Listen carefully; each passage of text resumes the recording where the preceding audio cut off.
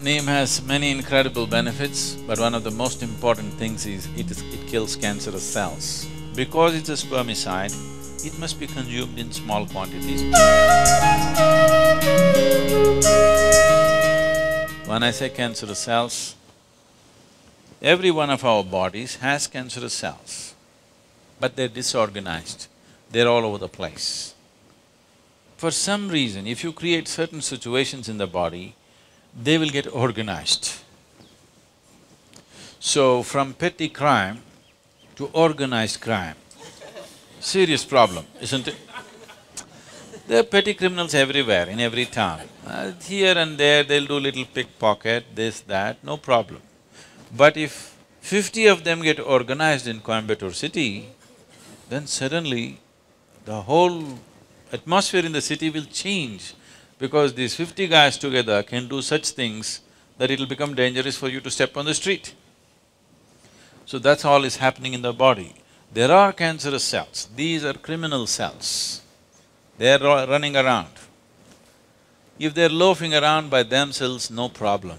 If they all gather in one place, if they meet in one place and they hit it off, then it's a problem. So, if the law enforcement is good, they see this, uh, initially a criminal is happy picking somebody's pocket. Every day picking pocket, when two of them meet, they will dream of burgling a house. When five of them meet, they'll dream of robbing a bank. That's how it is. So, if the law enforcement is conscious and active, they will make sure here and there they'll pick up one guy and throw him in. They'll do something, you know, so that they never gather in enough numbers to become a major problem. So the same thing with the body.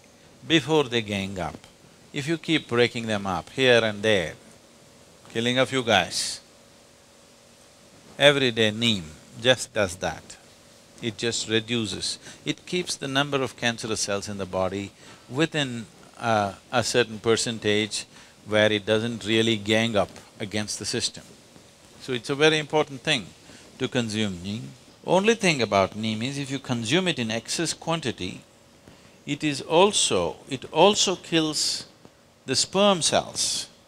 That is, we will have the fortune of a reduced population if everybody in the world consumes enough neem, because it's a spermicide, it must be consumed in small quantities because it's not for us to decide what should happen to an individual. And women, when they are pregnant, up to four months of pregnancy or to be safe, up to five months of pregnancy, one should not consume neem because it is a spermicide. When the fetus is developing, the role of the sperm is still there to a certain point. Four months is what is prescribed. I am saying five months, you can… one can start after five months.